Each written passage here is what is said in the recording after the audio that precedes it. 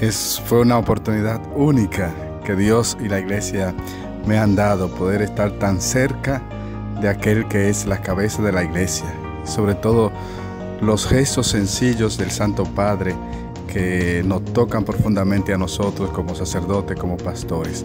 Ver esa manera tan simple en la que Él celebra, que también hace sentir que uno es un simple hermano eh, de Él y así también uno lo, lo siente. De verdad que es un testimonio maravilloso que nos da a todos los sacerdotes y los obispos sobre todo a que podamos imitarle en los hechos, en los gestos y todo, porque su sencillez de verdad que nos hace mirar al pastor de pastores, a Jesucristo. Los obispos que estamos de visita a Clímina aquí en Roma, hoy hemos estado reunidos en un discaterio, un departamento de la Santa Sede que integra a las distintas organizaciones que trabajan en el campo social. Se llama Cor Unum, un solo corazón, una institución que fue creada por Pablo VI en 1971 para integrar todas las organizaciones de ayuda y de asistencia social. En el caso de la República Dominicana, cuando hemos tenido eh, situaciones de emergencia, eh, recuerdo que en una ocasión, Monseñor Cordes, que fue el presidente de este consejo, estuvo en República Dominicana para expresar la cercanía del Papa en la asistencia a aquellas personas que sufrieron, padecieron eh, por las inundaciones y por situaciones también de tormenta o huracanes.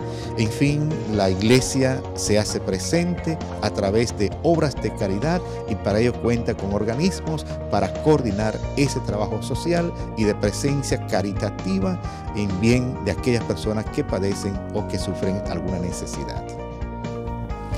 Hemos tenido el encuentro ahora con el Pontificio Consejo de Justicia y Paz y una delegación de la Conferencia del Episcopado Dominicano. Ha sido un encuentro muy importante porque este consejo, este pontificio consejo, brega con todo lo que tiene que ver con la justicia y la paz, que para nosotros es muy importante. Nosotros hemos comenzado hablando desde el programa que tenemos de declaración de nacimiento, porque si no se declara la persona humana, no hay justicia porque el primer derecho es tener un documento. Y hemos comenzado hablando de la importancia que el trabajo que ha hecho la iglesia para declarar, para ayudar a declarar a tantas personas eh, dominicanas y el trabajo que ha hecho también con la declaración para apoyar a los haitianos en cuanto a ayudarle a mejorar, a tener sus documentos. Acabamos de tener el encuentro con el dicasterio de la Pastoral de la Salud, aquí se llama dicasterio para operatorio sanitario. Y en este dicasterio se ocupan de todas las problemáticas de la salud a nivel mundial. Cada año realizan un encuentro, conferencia internacional. El año pasado éramos más de 360 miembros aquí en el aula Pablo VI. Y este Dicasterio ha quedado impresionado del trabajo que realizamos allá en Santo Domingo, porque cada diócesis se ha interesado por la pastoral de la salud.